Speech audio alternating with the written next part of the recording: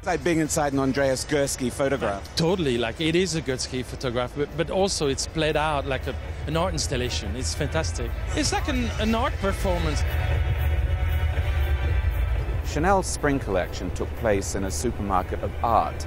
For fall, Karl Lagerfeld's gone one step further and built an actual supermarket in the Grand Palais. There are over 100,000 products on these shelves, and you should have seen the shopaholics in the crowd go wild.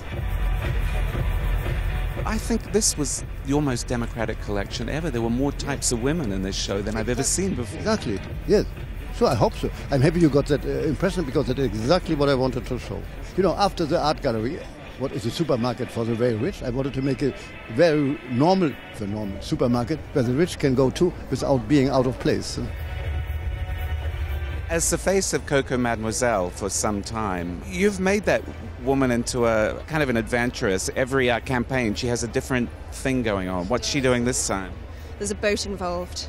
A very, very beautiful speedboat on the Seine. What have you learned from Karl over these years? Just his resilience, his stamina, constantly going forward. It's something I can't even imagine how you do that. I mean, I suppose that's fashion in general, isn't it? But, but he is an absolute master at it.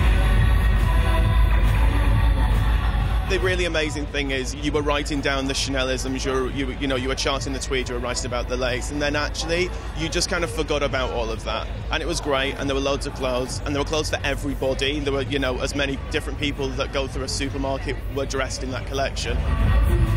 There was a onesie that I was very partial to, and a sort of corally burnt orange that I thought, oh, I'd like to wear that. What was interesting was it could have been gimmicky, but it absolutely wasn't. I have to say, I think it was my favourite Chanel collection ever. I think there was a little satirical element here today as well. But that's a good thing, you know. How much can you laugh at life and yourself and everything we do?